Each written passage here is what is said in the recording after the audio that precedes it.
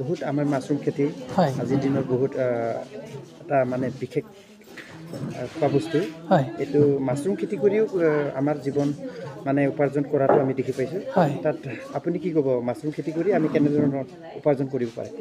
চাওক মাছৰুম বৰ্তমান যিটো আমাৰ চৰকাৰৰ ফালৰ পৰা যিটো মানে কৃষকৰ আয় দুগুণ কৰাৰ যিটো পৰিকল্পনা চলি আছে নৰেন্দ্ৰ মোদী ডাঙৰীয়াৰ তো মাছৰুমটো তাতে উল্লেখযোগ্য ভূমিকা ল'ব পাৰে। খুব কম কষ্টত খুব কম ঠাইত খুব কম সময়ত এইটো এটা ভাল ইনকাম ৰাস্তা।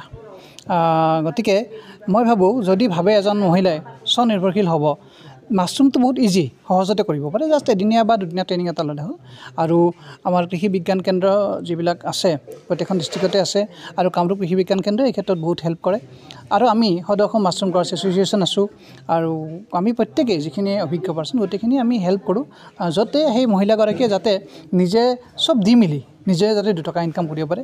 আৰু অতি কমেও যদি মনোযোগেৰে লাগে এমাহত ধুনীয়াকৈ আপোনাৰ দহৰ পৰা বিছ ত্ৰিছ হাজাৰ টকা ধুনীয়াকৈ ইনকাম কৰিব পাৰে মাছৰুম খেতিত। আৰু আপোনালোকৰ ফালৰ পৰা যে ট্ৰেইনিং দিয়াইছে হয়। তেখেতলোকক কি কি দিয়া হ'ব? তেখেতসকলক অলৰেডি আজি তেখেতসকলৰ চাৰ্টিফিকেট হেৰি হ'ল। আৰু ইয়াৰ পিছত আমি তেখেতসকলক আজি মই মেইনলি মাছৰুমৰ যিটো ব্যৱসায় এতিয়া চাওক প্ৰডাকশ্যন কৰা আৰু ব্যৱসায় হিচাপে তাক নিয়াটো অলপ ডিফাৰেঞ্চ আছে। তো তেখেতে সেই মাছৰুম খেতিয়কসকলে কেনেদৰে সেই ব্যৱসায়টো আৰম্ভ কৰিব সেই বিষয়ে মই আজি গাইড কৰিলোঁ। এতিয়া ব্যৱসায়টো আৰম্ভ কৰাৰ যেতিয়া আমি লিংকবিলাক পাম যে তেখেতসকলে যি যি কৰিছে তেতিয়া সেইমতে কাক কেনেকুৱা ধৰণৰ বেনিফিট দিলে উপযুক্ত হয় সেইমতে আমি তেতিয়া যাক যেনেকৈ দিব পাৰি আমি সেনেকৈ চেষ্টা কৰিম। চৰকাৰী কিবা আছে? চৰকাৰী স্কিম আছে ডেফিনেটলি চৰকাৰে যেতিয়া প্ৰথম মাছৰুম খেতি কৰিব আমাৰ হৰ্টিকালচাৰৰ আণ্ডাৰত লোনৰ স্কিম আছে। য'ত নেকি আগতে এজন মাছৰুম খেতিয়কৰ এগেনষ্টত আপোনাৰ সাত হাজাৰ চৰি সাত লাখ আঠ লাখ হা ছয় লাখ এনেকুৱা ধৰণৰ লোনৰ ব্যৱস্থা আছিল। কিন্তু এতিয়া অলপ এই বছৰৰ পৰা অলপ চেঞ্জ হ'ব তাৰমানে মই শুনামতে কিন্তু সেইটো হ'ল মাছৰুম অকল আমাৰ যিটো ফ্ৰেছ মাছৰুম খেতি কৰে সেইটোৰ কাৰণে। কিন্তু যদি মাছৰুম প্ৰচেছিং কৰে যেনেকৈ মাছৰুমৰ পৰা বিভিন্ন বস্তু বনাব পাৰি কেক বনাব পাৰি আমাৰ বিস্কুট বনাব পাৰি আমি ভুজিয়া বনোৱাৰ কথা চিন্তা কৰিছোঁ মানে গোটেই দিনটোৰ ৰুটিনটো যিটো থাকে আমাৰ ৰুটিনত যাতে আমি মাছৰুমৰ খোৱা বস্তু ভৰাব পাৰোঁ। ঠিক আছে? এতিয়া সেইটো ক্ষেত্ৰত M S M E help কৰে। মই নিজে M S M E faculty গতিকে এম এছ এম ইয়ে যিকোনো প্ৰচেছিং ফুডৰ কাৰণে লোন দিয়ে যিটো গাঁও এলেকাৰ কাৰণে থাৰ্টি ফাইভ পাৰ্চেণ্ট ছাবচিডি থাকে আৰু চহৰ এলেকাৰ কাৰণে টুৱেণ্টি ফাইভ পাৰ্চেণ্ট ছাবচিডি থাকে। যিহেতু এইটো গাঁও এলেকা আৰু প্ৰতিজনে মই দেখিছোঁ ঘৰতে তেখেতসকলে ব্যৱসায়টো কৰিছে। আৰু লোন পোৱাৰ কাৰণে খালি এটা কথা আহি পায় বেংকৰ যিটো ৰিলেশ্যন আৰু সেই বিষয়ে মই আজি সবিশেষ বুজাই দিছোঁ। আৰু এখেতসকলে মই ভাবোঁ এবছৰৰ ভিতৰত অন্ততঃ এম এছ এম ইৰ ডাঙৰ লোন মানে তিনি লাখৰ পৰা পাঁচ লাখ টকা লোন লৈ এখেতসকল প্ৰতিজনে এজন স্বাৱলম্বী। হ'ব পাৰিব স্বাৱলম্বী খেতিয়ক হ'ব পাৰিব। লোন লৈ এখেতসকল প্ৰতিজনে এজন স্বাৱলম্বী হ'ব পাৰিব স্বাৱলম্বী খেতিয়ক হ'ব ডিপাৰ্টমেণ্টক যোগাযোগ কৰিব লাগিব অঁ আমাৰ লগতো যোগাযোগ কৰিব লাগিব। মই ডাইৰেক্টলি এম এছ এম ইৰ লগত জড়িত নহয় মই ৰিচোৰ্চ পাৰ্চন হিচাপে আছোঁ।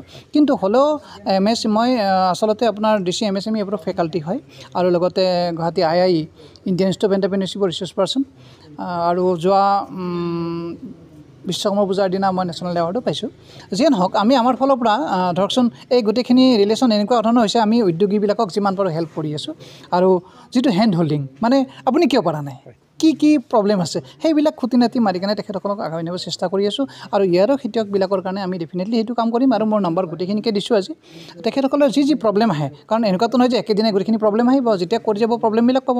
মই কৈছোঁ যে মোৰ লগত যোগাযোগ কৰিব যিমানখিনি পাৰোঁ আপোনালোক গাইড কৰি যাতে এজন স্বাৱলম্বী হ'ব পাৰে খেতিয়ক।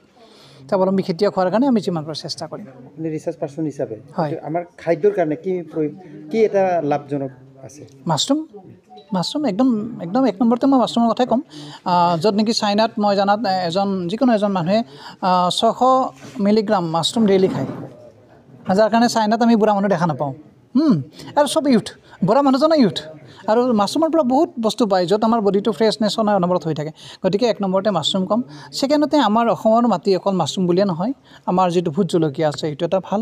এনেকুৱা ধৰণৰ বহুত কেইবিলাক এগ্ৰি আছে যাৰ কাৰণে আমাৰ মাটিটো উত্তম হয়। গতিকে যাৰ যিটো সুবিধাত হয় এনেকুৱা নহয় যে হাণ্ড্ৰেড পাৰ্চেণ্টে মাছৰুম কৰিব এনেকুৱা নহয়। যাৰ যিটো ইণ্টাৰেষ্ট আছে সপোন আছে সেইমতে এগ্ৰি বেছ বিজনেছ কৰক আৰু সোনকালে তেখেতসকলৰ ইনকামটো ডাবল কৰক। চেষ্টা চলিছে। মইতো গোটেই জীৱনতে কৰিম বুলি ভাবি আছোঁ। তাৰপৰা এতিয়া যিটো ট্ৰেইনিং দিয়াইছে হয়। কোনো এনে ফিজ লোৱা হৈছে নেকি? তেনেকুৱা আমি পিচটো লোৱা নাই এতিয়ালৈকে। কোনটো ফালৰ পৰা আপোনালোকে এইটো আমি এইটো এতিয়া এতিয়া কৰি কৰি আমি চাওক আমি মাজুলী গৈ পেলাই চি এম প্ৰগ্ৰাম আছিলে আমাৰ অদৌ অসম মাছৰুম কাল্টিভেশ্যন কিবা মিটিং এখন এই সাত তাৰিখ সাত তাৰিখ যোৱা জানুৱাৰী। তেতিয়া আমি তাত প্ৰদৰ্শনী মেলা আছিলে। তাৰ প্ৰদৰ্শনী মেলাত আমাৰ ধেমাজি ডিষ্ট্ৰিক্ট হৈ আমি প্ৰদৰ্শনী মেলাত যোগদান কৰিলোঁ। প্ৰতিযোগিতা হ'লোঁ। তাতে আমি প্ৰথম পুৰস্কাৰো পালোঁ। আমাৰ ধেমাজি ডিষ্ট্ৰিক্টৰ মোৰ নামত। তাৰপিছত আমি ভাবিলোঁ অকল আমিতো পালে নামটো ল'লে নহ'ব নহয়। গতিকে আমি সকলো এই আমাৰ চিৰসেউজীয়া প্ৰামাৰ প্ৰডিউচাৰৰ যোগেদি নিবনুৱাসকলক সংস্থাপন দিবৰ কাৰণে এই কিবাটো অনুস্থাপন কৰিলোঁ ট্ৰেইনিংটো প্ৰশিক্ষণ দি প্ৰগ্ৰামটো লোৱা হ'ল।